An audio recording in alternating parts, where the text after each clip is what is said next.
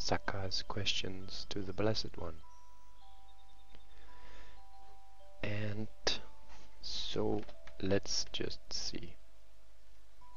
We've got the recording on.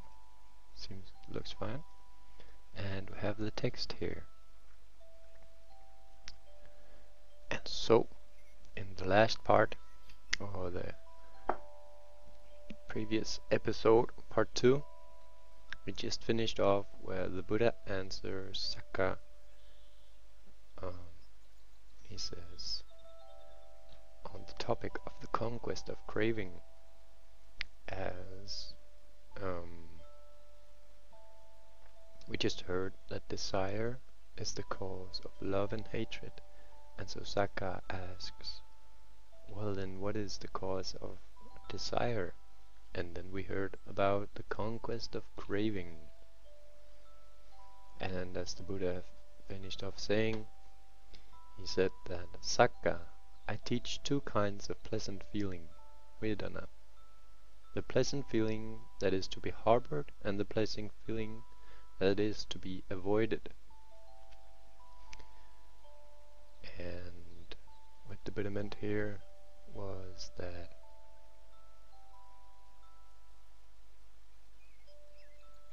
you know that a pleasant feeling helps to develop unwholesome states of consciousness and hamper wholesome states of consciousness, you shouldn't harbor such a feeling. But if you know that a pleasant feeling helps to develop wholesome states of consciousness and hamper the unwholesome states of consciousness, one should harbor such a feeling. And then the Buddha said, the pleasant feeling is of two kinds, which is bound up with thinking and reflection, and the other which has nothing to do with these mental activities, vitakka, vichara. And so that means that one of these consciousnesses is bound up with thinking and mental activity. And the Buddha states categorically of these two, the pleasant feeling that has nothing to do with vitakka vichara is much superior. And we just finished off learning that vitakka and vichara are translated, uh, translated as thought conceptions and thinking in Nyanatiloka's Buddhist dictionary. And so today we're gonna be starting on the next chapter in the text called oh and please make sure that you can uh, grab the text below. I'll put the link below and also the links to the previous episodes. And so you can get to look at the text. We're just about a third down in the text the title of pleasant feeling and unwholesome thoughts. And so, just with a little bit of catching up from where we left off at the last time, I think that we should get into some reading. And I'm here at the Buddha Center in the deer park.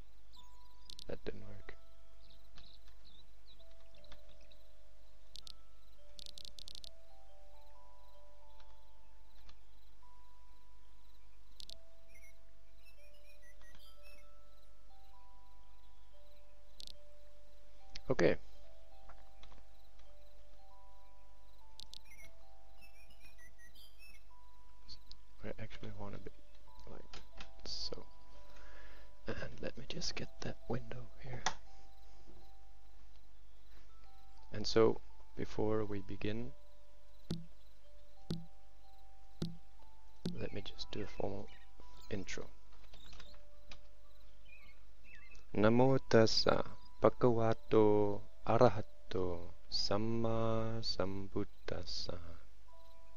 Homage to the Blessed One, the Worthy One, and the rightly self-awakened one.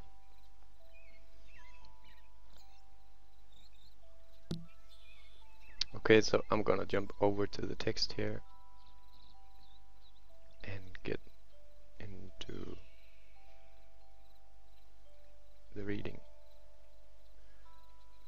just want to make sure that there's not any weird things popping up on the screen.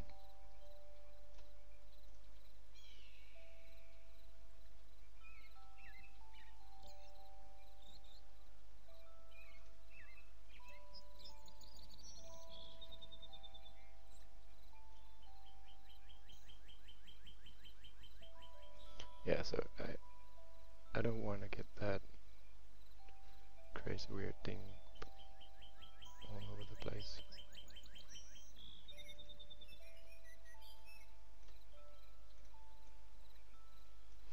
Okay, so pleasant feeling and unwholesome thoughts. Pleasant feeling that lead to unwholesome thoughts are rooted in sensual objects. Most people are preoccupied with sensual objects such as sex and food. If they get what they want, they rejoice, but their joy leads to more desire, and the so-called happiness of many people is founded on desire. Eh, if their desire is not fulfilled, they are frustrated and unhappy. This means the emergence of unwholesome thoughts that bring into play the agents of expansion, viz. tanha, mana and ditthi, which means craving, conceit, and belief or view. These pleasant feelings that we should avoid are mentioned in the Salayatana Vibhanga Sutta, which is the analysis of the six-sensing medium of the Majjhima Nikaya. The sutta likens the sensual objects of human dwellings because they keep people in confinement. People derive pleasure from contact with them or from recollections of their contact. There are six kinds of pleasant feelings rooted in uh, six sense objects and their respective sense organs. Excuse me, I'll just get some water.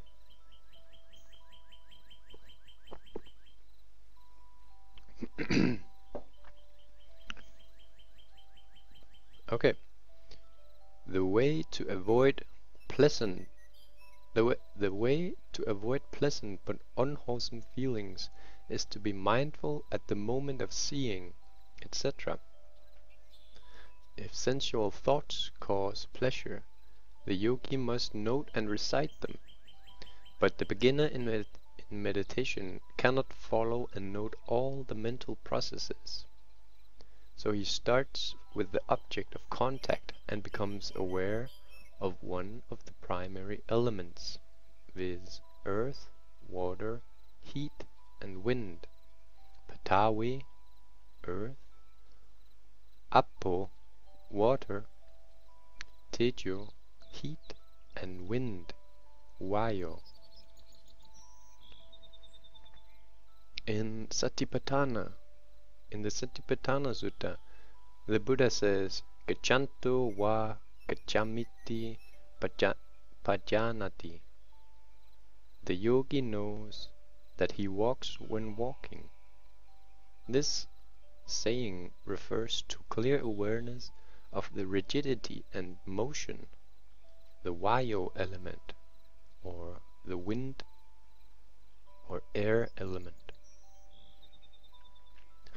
But as he notes walking, the yogi is also aware of the rigidity and motion, hardness and softness, the Patawi element, which is the earth element, in the feet and in the body, also of the warmth cold and lightness, the tejo element, uh, the heat element, or the heaviness and dampness, the apo element, the water element. The apo element is intangible, but can be known through contact with other elements that are bound up with it. So we don't really directly experience the water element in other ways that when it manifests itself in our experience as heaviness because it has been bound up with one of the other elements such as the, the Patawi element, the earth element. In the in this way we know that if you add water to sand it becomes mud and mud is heavier because it holds the water and so the heaviness and the dampness is the sign of the Apo element. Continuing with the text. The yogis at our meditation center begin with contact and motion in the abdomen that are most obvious and easy to note while sitting. The tenseness and motion in the abdomen are the marks of the Vayu element, the air element. They practice noticing in their own common language the rising and falling of the belly. This practice has helped many yogis to attain insights and make much progress on the holy path. In the beginning, the yogi constantly watches the abdominal rising and falling he notes any mental event that occurs while engaged in such concentration. A feeling of joy may arise, but it disappears when it is noted. It usually does not intrude if the yogi keeps on watching the rising and falling. When the Buddha speaks of unwholesome joy, it means that we should focus on Nama-rupa in order to hit off the sensual joy and that if such joy arises we should not uh, we should note and reject it at once. And that was the chapter on pleasant feeling unwholesome thoughts and now we continue with wholesome joy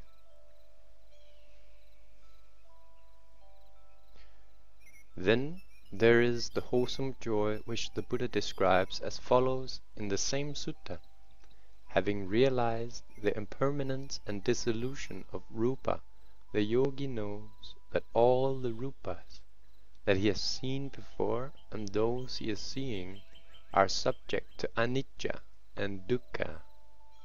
This insight knowledge causes joy, and such joy may be described as, as the pleasant feeling rooted in liberation from sensual desire.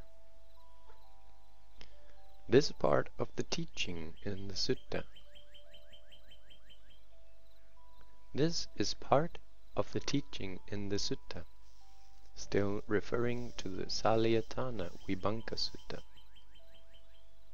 um, the sutta on the analysis of the six senses. It touches on such things as renunciation, distress, and, as we hear here, the joy that comes from mm, renouncing the world.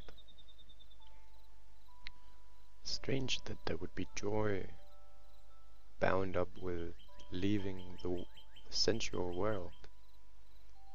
Um, but surely there is. Continuing on. The commentary adds that the yogi is joyful because he attains insight into impermanence, etc., as a result of his mindfulness of the six sense objects. Such joy is wholesome and desirable. The commentary describes four kinds of wholesome joy. The joy due to renunciation of worldly affairs, which was, was the one I was just referring to. Number two, the joy associated with vipassana practice. Vipassana means to see clearly. Uh, number three, the joy based on contemplation of the Buddha, etc., and the joy resulting from absorption in the first jhana, which is the fourth kind. Some are joyful when they think of their renunciation of worldly affairs, their ordination as bhikkhus, practice of vinaya, um, the basket of morality, concentration, and so forth. This this joy is wholesome since it is bound up with renunciation or disassociation from secular life. So are the feelings of joy that we have when we hear a sermon on the Dhamma or when we go to a meditation center for practice of vipassana. The joy dependent on vipassana may uh, the joy dependent on vipassana may be the joy that arises while being mindful. In particular, the highest joy is the joy associated with emergence of the Udayabbaya jnana, insight into the arising and passing away of all phenomena.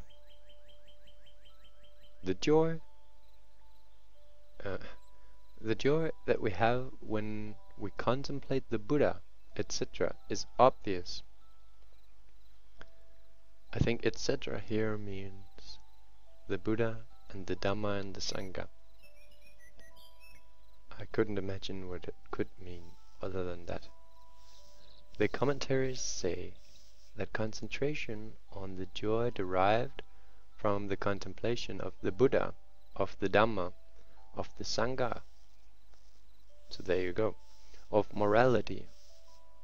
Oh, so the six contemplations of lib uh, liberality and of heavenly beings can bring about knowledge and fruition on the path. Even arahantship may be attained if the yogi notes and reflects on the dissolution and cessation of joy, piti, which is the Pali word for joy. Um, that so, uh, okay, let me start here. Even if the arahant may, even arahantship may be attained if the yogi notes and reflects on the dissolution of and cessation of joy, piti, that is born of the six contemplations. So if you note the cessation of the arisen joy that comes from thinking of the Buddha when you see the joy fading away and ceasing, this can make you an arahant, a fully enlightened being. Continuing on. Piti implies joy and obviously the joy derived from the sixth contemplation is wholesome and so is the joy based on the three jhanas or their upachara, their neighborhood jhana. Of the four kinds of renunciation, Nekkhamma, joining the holy order means liberation from matrimonial ties, and so does the Vipassana practice, since it is opposed to matrimony and all sensual objects. So the commentary on the e on the Itiwu, Itivuttaka describes ordination first, jhana nibbana, vipassana, and all wholesome Dhamma as nekkhamma. The joy which is marked by vitakka vichara is of two kinds, uh, viz. happiness, sukha, that is associated with access concentration, upachara samadhi, access concentration, and happiness associated with the first jhana, then, as mentioned before, there are various types of mundane joy, this joy over one's ordination, joy that results from vipassana practice, joy over the contemplation of the Buddha, uh, etc. The six contemplations. Again, we have four kinds of supramundane joy associated, associated with the four paths of the first jhana. Superior to these types of joy are those that have nothing to do with vitakka vichara. These are the attribute, attributes of the second jhana, that is marked by ecstasy, joy, one-pointedness of mind, ek ekaggata, and the third jhana marked by joy and ekaggata, um, one-pointedness. Such jhanic joy is mundane joy. Likewise, the joy derived from the four supramund supramundane paths and the second and third jhana are free from vitakka vichara and therefore wholesome.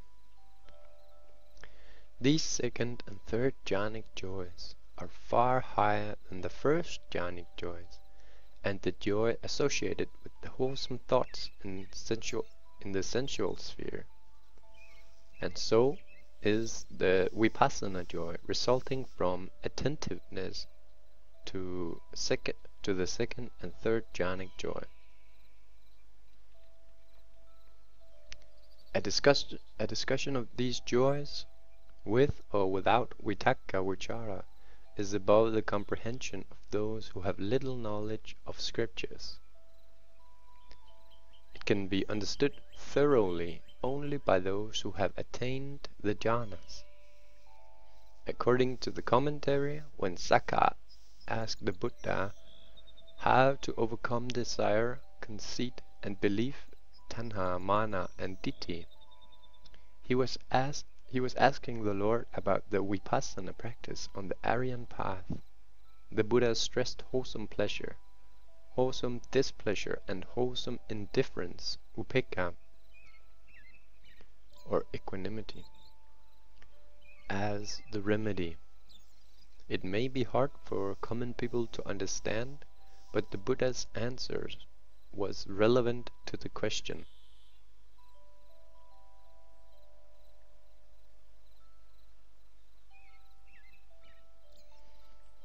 For the devas, for the deva's mind is more obvious than matter among the elements of mind. Uh, feeling is more obvious than others. So the Buddha told Sakka to watch his feelings, Vedana. And many of the Buddha's teachings on vipassana contemplation of rupa takes precedence over that of consciousness. This is also true of the Sakkapanha Sutta, but here no mention is made of rupa since it is implicit in the contemplation of feeling.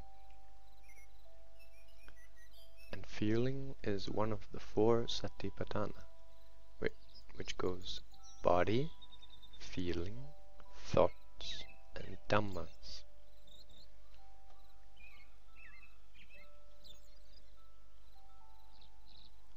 And that concludes the section here on wholesome joy. Continuing on in the text, and now we are at Vipassana contemplation. So we're almost halfway through the text for anyone who's following along. Vipassana contemplation the object of vipassana practice is to note all psychophysical phenomena um, that arise from contact with sense objects. It involves the effort to see empirically all phenomena as they really are together with the characteristics such as impermanence, etc.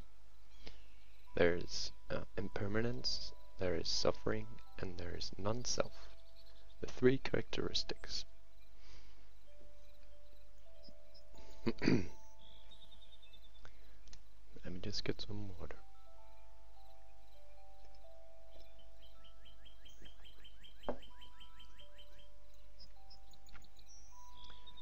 At first, the yogi cannot focus on every nama rupa process, and so he should begin with a few obvious events. He must note walking when he walks and so on. He must watch every body, bodily behavior. In this way, he, he usually becomes aware of the vayu and other primary elements. And the vayu is the wind element or the air element. This accords with the teachings of the Satipatthana Sutta. Gacchanto va gacchamiti pajanati. The yogi knows that when he is walking Oh, I'm sorry. The yogi knows that he is walking when he is walking. The yogi tends to be slack if he focuses on one posture say sitting, and so in order to keep him mindful we instruct him to focus on the rising and falling of the belly. With the development of concentration he becomes aware of the vayu element, uh, rigidity and motion. Um, whenever he focuses on, ri on rising and falling.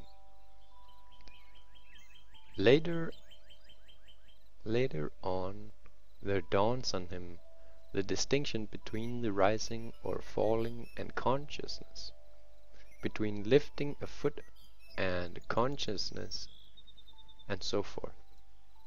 This, dis this discriminative insight into Nama Rupa is called Nama Rupa uh, Nama Rupa Pariccheda Jnana. With the further development of concentration, the yogi knows that he, wait, with the further development of concentration, the yogi knows that he bends his hand because of his desire to bend, that he sees because of his eyes and the object to be seen, that he knows because of the object to be known, that he that he does not know because of his unmindfulness, that he likes a thing because of his ignorance, that he seeks to fulfill his desire because of his attachment, that good or bad results follow his actions, and so on. This is Pachaya Pa Pachaya Parigaha Pachaya Parigahanyana, or insight into the primacy of the law of cause and effect. Pachaya Parigaha Jnana Insight into the primacy of the law of cause and effect. This is followed by Sammasana which means insight into the anicca, dukkha and anatta of all phenomena, which means impermanent suffering and non-self of all phenomena. An insight born of reflection on their arising and passing away. Then the yogi knows that everything arises and vanishes rapidly his perception is so keen uh, that nothing escapes his attention. He tends to see lights and to be overly ecstatic and joyful.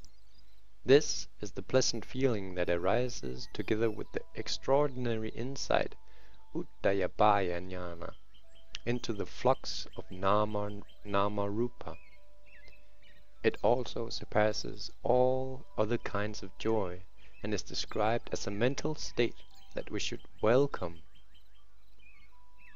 The Dhammapada speaks of the surpassing joy, rati, that occurs to the yogi who contemplates the Dhamma, that is, nama rupa in a flux rightly.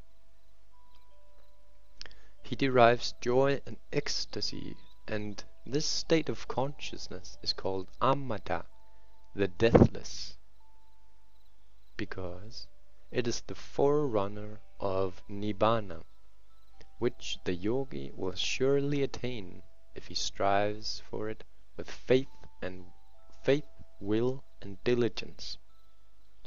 The joy and ecstasy are called pamojja and piti in Pali.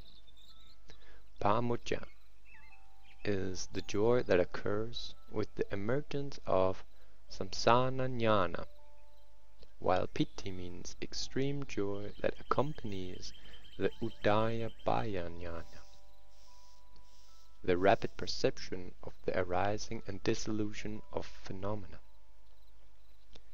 It develops while the yogi is mindful of the rising and falling of the belly or the sensations in the body or while his attention is focused on his bodily movements. He, he rarely suffers unbearable pain. If, pains, if pain occurs sometimes, it vanishes instantly when he notes it, and then he feels very much elated. The elation continues to be intense as long as he is mindful of the rapidity with which every phenomenon arises and passes away. As in the first three jhanas, the yogi feels very feels very happy when he attains the Udaya Jnana. He describes his pleasant Oh, I'm sorry, he describes his happiness at this stage as ineffable experience that surpasses all similar states of consciousness. In the Sakkapanha Sutta, it is it is labeled Sewita Pasoma Sewita Pasomansa so in the Sakkapanha Sutta it is labeled Sewita Pasomansa. That's a new word for me. Uh, that is the pleasant feeling that we should seek. Sewita Pasomana Pasomansa. Sewita Pasomansa. And that concludes this chapter on Vipassana contemplation.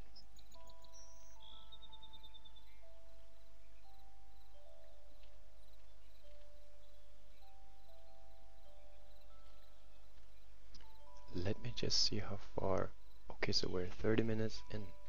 This next chapter is going to be a long one, and when we finish this all, we'll be um, over halfway through the text. And so, I might cut this video or this part up at the end of this chapter because it's almost like three chapters long um, comparing it to the previous ones and so seems that we could finish strong on this here we go unpleasant feeling that should be sought or avoided the sutta mentions two kinds of unpleasant feeling. The unpleasant feeling that leads to unwholesome karma, acts, words, or thoughts, and the unpleasant feeling that results in wholesome karma.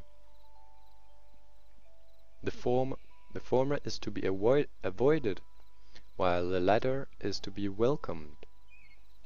The latter is not to be deliberately sought, but it is to but it is commended because it is conducive to the practice of jhana, the holy path and its fruition.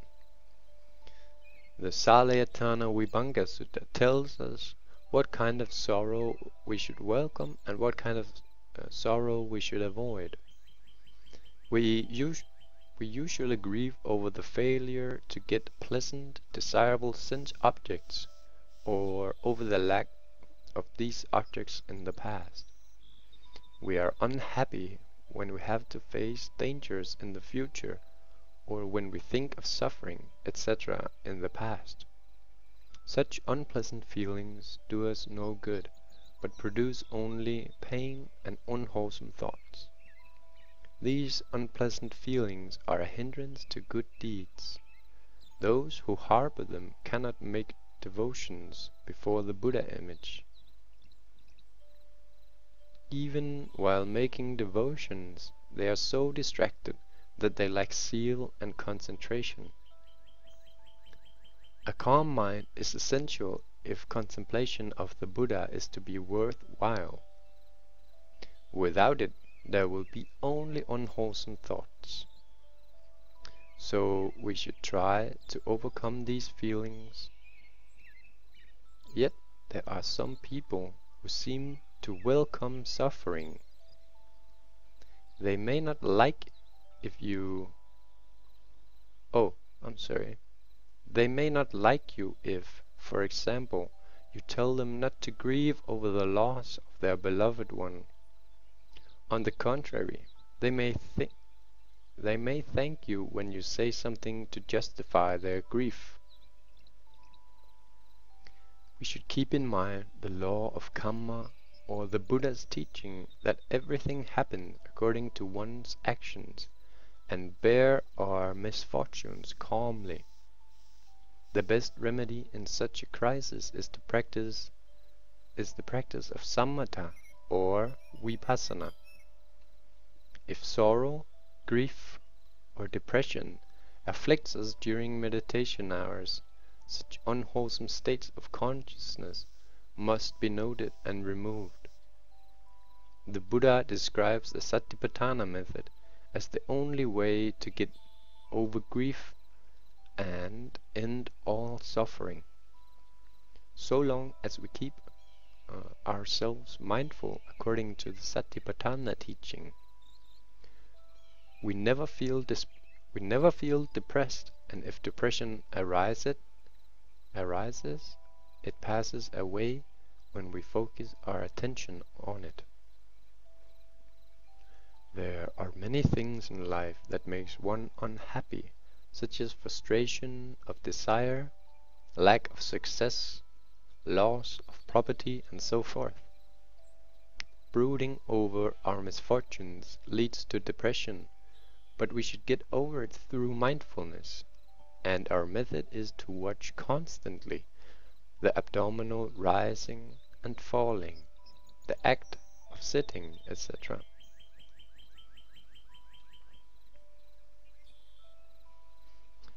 The, the practice of mindfulness was crucial to Sakka, for in the face of imminent death that would surely bring about the loss of heavenly bliss and sensual pleasure, he was much depressed.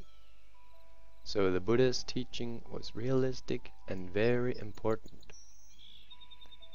We will now give a translation of the Pali texts in the Salayatana Vibhanga Sutta about the unpleasant feeling that we should welcome.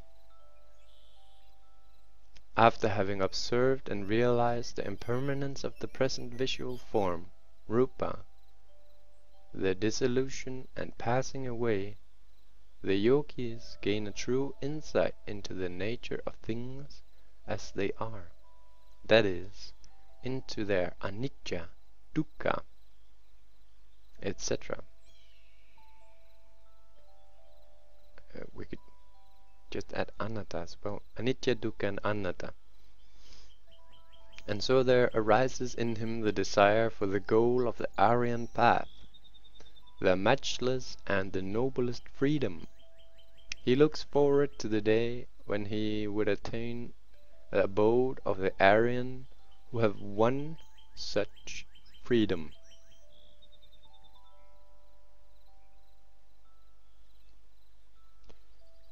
This longing for the Aryan liberation causes pain and sorrow.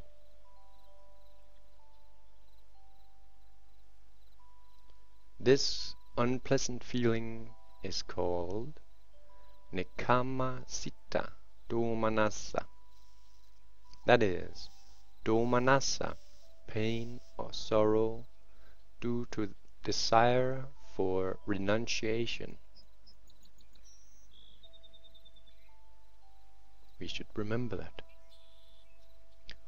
Those who observe the psychophysical phenomena as they arise from the six as they arise from the six senses realize their impermanence, etc., and with their mere heresy, uh, knowledge of the Aryan Dhamma, they may keep on meditating in hope of attaining the goal.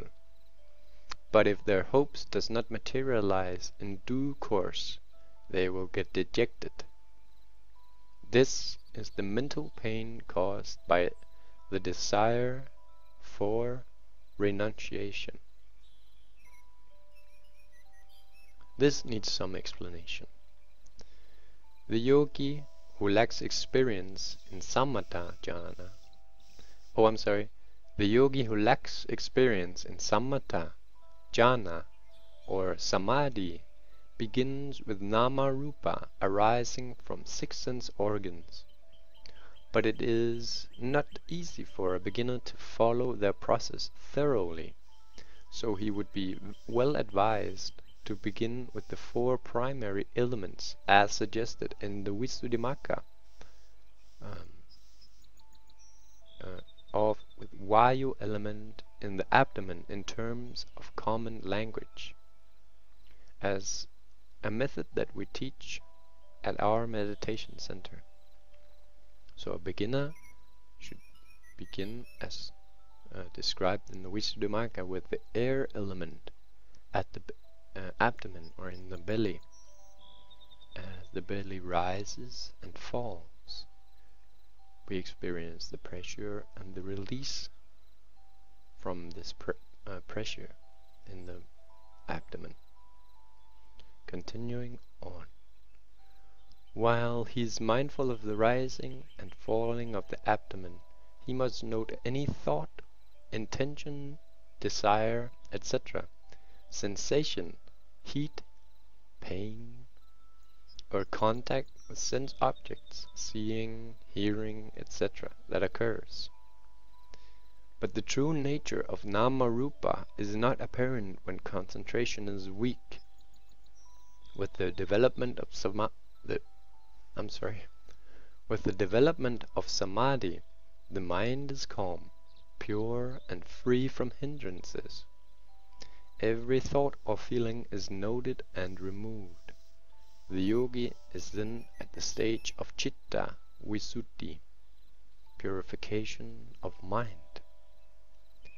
Later on, later on, he knows the distinction between the cognizing nama and the cognized rupa, rupa,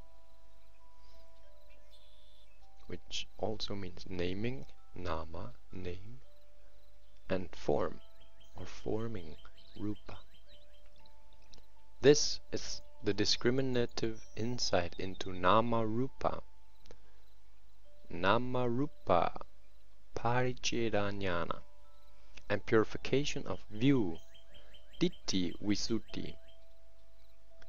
The yogi gains insight into the distinction between cause and effect, Paccaya Pariggaha and he is then free from all doubts. Kanka Vitara mm, with I'm sorry. Kankha Vitarana Visuddhi.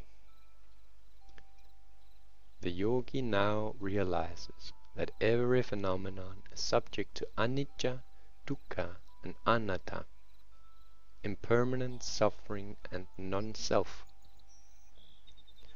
This is sammasasana san this is sammasana jnana.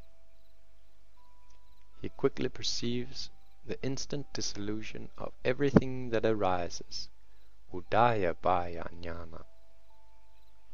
At this stage, there arises in the yogi the desire to be liberated. He longs to attain a certain stage on the holy path, and he hopes to do so within a certain period of time. If his hope is not fulfilled, he is sad and disappointed, a prey to doubt and despair.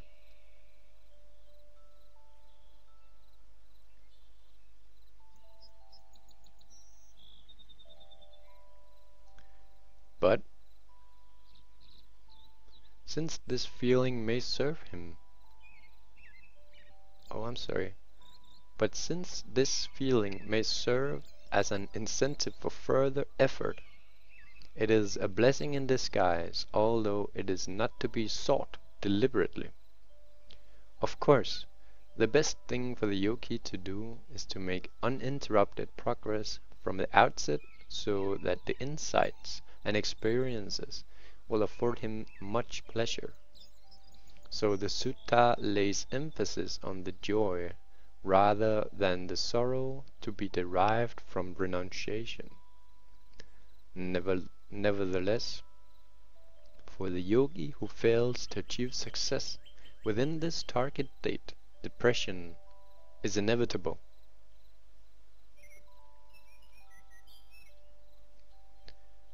At our meditation center, we explain successive stages of insight to a few qualified yogis to help them evaluate their experiences. We confine the teachings to the select few because it serves no purpose in the case of those who have no experience in meditation. It is beneficial only to the experienced yogis in so far as it serves as a spur to further effort.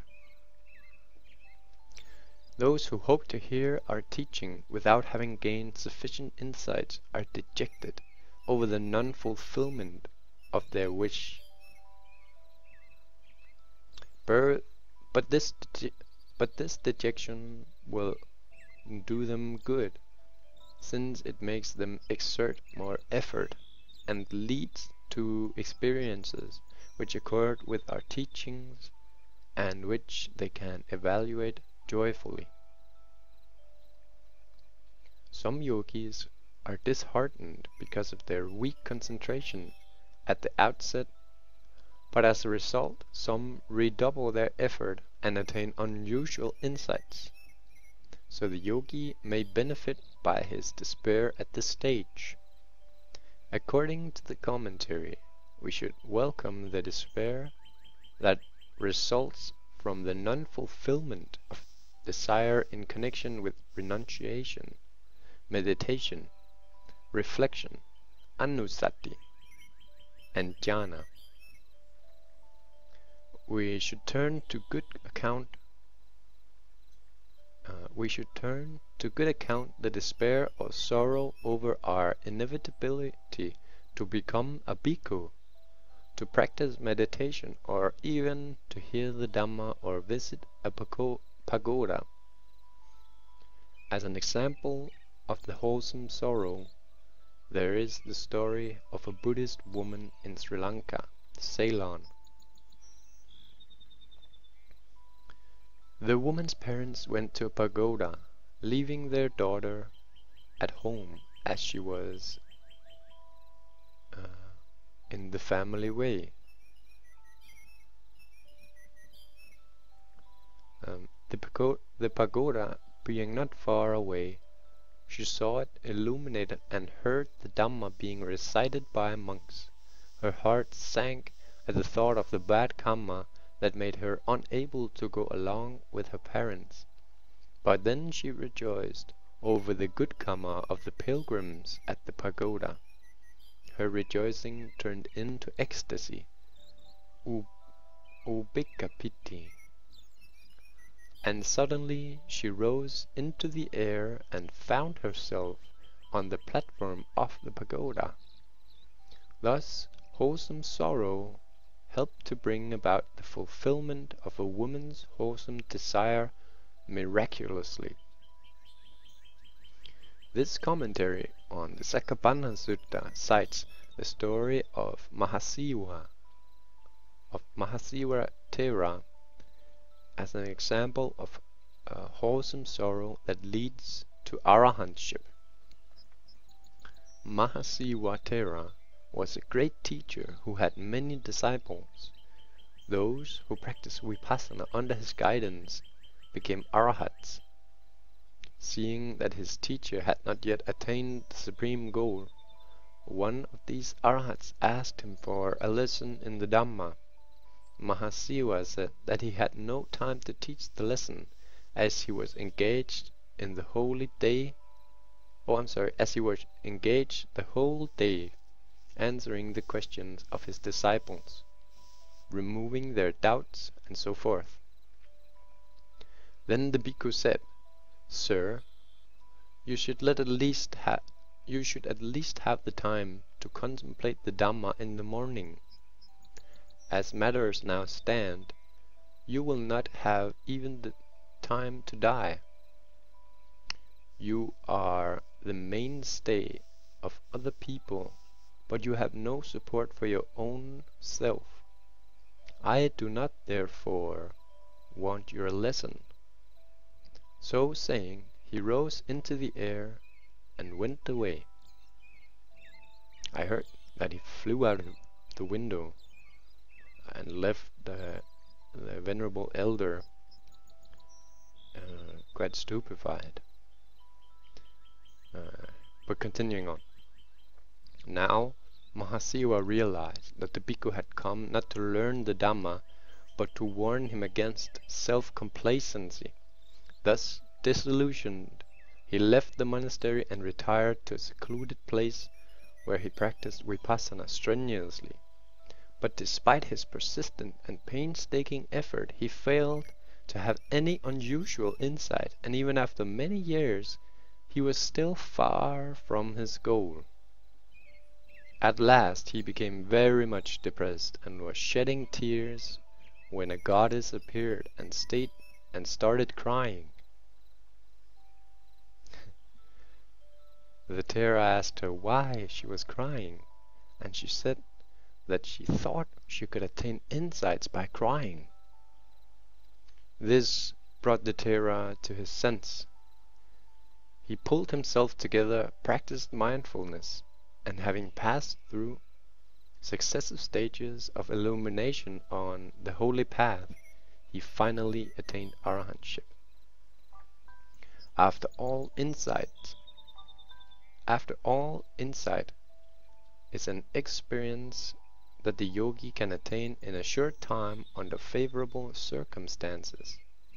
The Thera's initial failure despite his strenuous effort, might have been due to discursive thinking that stemmed from his extensive learning. This is a key point. Uh, so it was actually Vitakka Vichara that ended up holding the elder back. And it's such a funny story where this goddess, she comes and she just starts crying and crying and the elder looks up and he's like, surely there must be a reason that this radiant being is crying here. And then he asks it, her, why are you crying? And then she says, well, venerable sir, I thought that crying was the way to Nibbana, because she had seen this venerable elder who, whose students become arahants, fully enlightened beings. And so she thought, the goddess thought, that if she started crying, maybe she would become enlightened. And then this elder became, uh, he became jolted by this, and uh, this made him see to, to practicing correctly. Continuing on.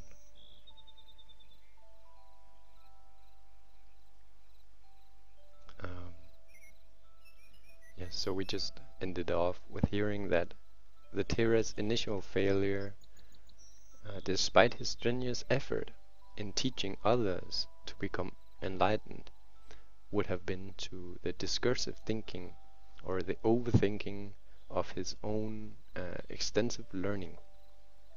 So sometimes good things can hold us back from attaining good. Continuing on. Thus, the sorrow which promoted Thera Mahasiva to make further effort on the path, on the path, is a kind of wholesome sorrow that we should welcome. The Sakkapanha Sutta mentions two kinds of wholesome sorrow, uh, one with vitakka vichara, discursive thinking, and the other without it, But in reality every sorrow is bound up with thinking, and we speak of sorrow without thinking only metaphorically. In short, sorrow is unwholesome if it originates in sensual desire or worldly affairs, and so we should avoid thoughts that lead to such sorrow. If it arises spontaneously, we must not harbor it. We should fix the mind on other objects, and sorrow will vanish of its own accord. On the other hand, sorrow is wholesome when it arises from frustration over any effort to promote one's spiritual life such as the effort to join the holy order, the effort to attain insights, and so forth. We should welcome such sorrow, for it may spur effort and lead to progress on the holy path. Very important. Let me just read again. We should welcome such sorrow, for it may spur effort and lead to progress on the holy path. It is not, however, to be sought deliberately. This is also important. The best thing is to have wholesome joy in the search for enlightenment. Indeed. Sadhu, sadhu, sadhu. And so friends, I think I'm gonna end this episode here. And for the next episode, we're gonna be just at the halfway mark of this talk. Um, yeah, so I've got something popping up on my screen here. Very ridiculous. Uh, but anyway, I was just saying that um, in the next uh, episode, we're going to be looking at wholesome and unwholesome upekkha, equanimity. Um, or upekkha, they had another word for it. Indifference, I guess. So, yep, that will be for the next episode, and this was um, part 3 to the series on the study of the Sakkapanha Sutta as we're reading this talk given by the Venerable Mahasi Sayadaw. And so, I would just like to say um, thank you for listening and let me just close off all of this jibber jabber nonsense and we could maybe finish off up in the trees.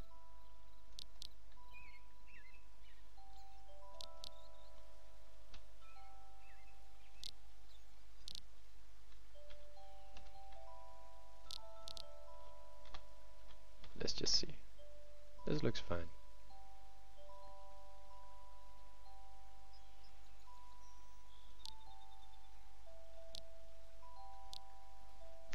yeah and so thank you so much for listening and make sure to check out part 1 part 2 and we just finished part 3 this one and we'll probably get up to maybe 6 or 7 parts for this talk as we go through it and yeah I think that's all for today and so just gonna meditate for a few minutes and let me just say thank you for your attention and may you be free from suffering and find true peace and happiness. Thank you.